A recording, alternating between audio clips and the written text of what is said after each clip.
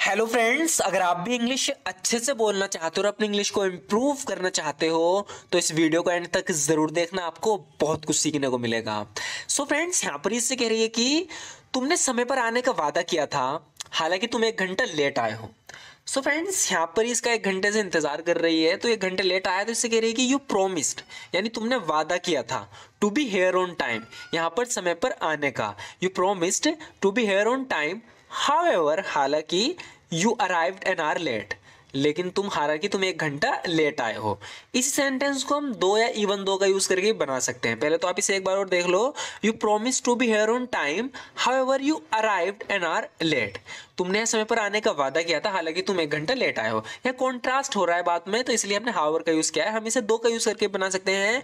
You promise to be here on time though you arrived an hour late तुमने वादा किया था कि उस समय पर आओगे, हालाँकि तुम एक घंटा लेट आए हो। You promise to be here on time though you arrive an hour late उम्मीद करती हूँ तुम्हें यहाँ आने में दिक्कत नहीं हुई होगी।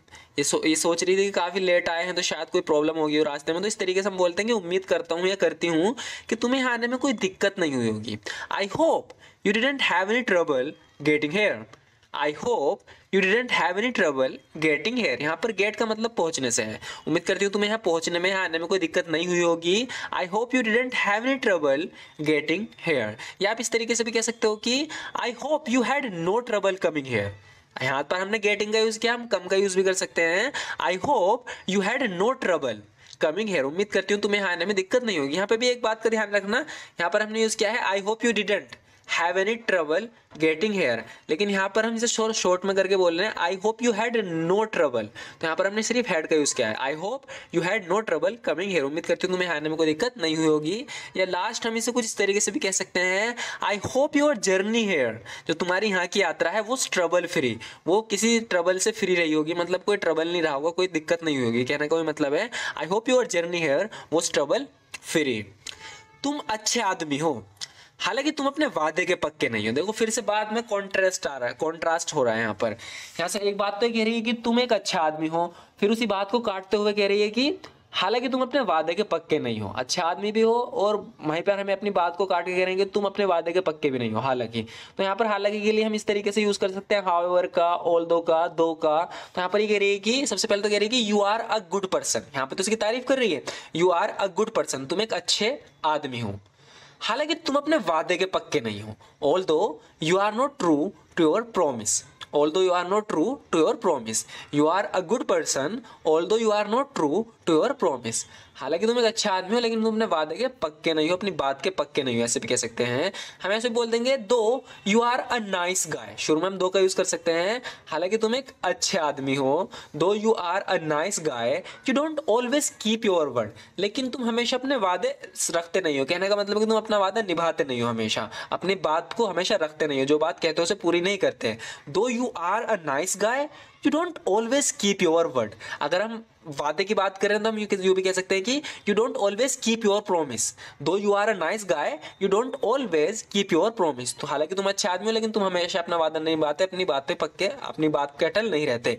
इवन दो का यूज़ करके भी हम कह सकते हैं कि even though you are a good person you are not true to your words तुम अपनी बात के पक्के नहीं हो, हालाँकि तुम अच्छा आदमी हो. Even though you are a good person you are not true to your words तुम अपनी बात के पक्के नहीं हो.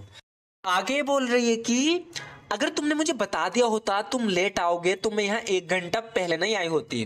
तो इसका इंतज़ार ये एक घंटे से कर रही थी, एक घंटा पहले आ गई थी लेट आया है। तो इस तरीके से यहाँ पर ये अपनी बात को इफ़ का यूज़ करके, यानी कंडीशनल सेंटेंस में बोल रही है कि अगर तुमने मुझे बता दिया होता तो यहाँ पर होता, बता दिया होता। इससे हमें पता चल रहा है कि कोई एक्शन कुछ बात हुई है, वो पास्ट में हुई है। अब बस हम उस बारे में बात कर रहे हैं। जैसे कि हमें किसी बात का पता नहीं होता, हम कुछ कर देते हैं। फिर बाद में हम पछताते हैं, कहते हैं कि अगर मुझे पता होता तो मैं ऐसा नहीं करता। यानी पास्ट में कुछ हो गया, अब उसे हम कह रहे हैं कि अगर ऐसा नहीं तो वैसा हो जाता, ऐसा नहीं तो वैसा हो जाता। तो ये यहाँ पर भी सिचुएशन यही है कि अगर तुमने मुझे बता दिया होता कि तुम लेट हो गए तो मैं एक घंटा पहले नहीं आती। तो सबसे पहले तो ये थर्ड कंडीशनल सेंटेंस है हम बोलेंगे इफ़ यू हैड हैड का यूज़ यहाँ पे ज़रूर होगा इफ़ वाले पार्ट में, क्योंकि थर्ड कंडीशनल में पास्ट परफेक्ट का यूज़ होता है। पास्ट परफेक्ट में हम किसका यूज़ करते हैं? हैड और उसके बाद वर्ब की third form if you had told me you would be late अगर तुमने मुझे बता दिया होता, तुम लेट होंगे। If you had told me you would be late I wouldn't have come here an hour early तुम्हें एक घंटा पहले नहीं आई होती। तो दूसरा जो इसका पार्ट है, उसमें वुड हैव का ज़रूर यूज़ होगा थर्ड कंडीशनल में ध्यान रखना। If you had told me you would be late अगर तुमने बताते हो तो तुम लेट होंगे I wouldn't have come here an hour early तुम्हें एक घंटा पहले नहीं आई होती।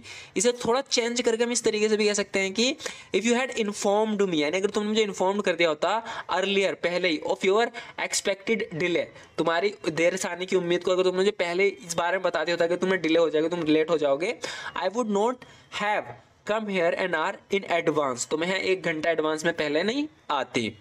तुमने मुझसे पूरे एक घंटा इंतज़ार करवाया। इस इंग्लिश में बोलेंगे you kept me waiting for a full hour you kept me waiting for a full hour यानी तुमने मुझसे पूरा एक घंटा इंतज़ार करवाया। आप ऐसे बोल सकते हो you made me wait for a whole hour you made me wait for a whole hour यानी तुमने मुझसे पूरे एक घंटा इंतज़ार करवाया।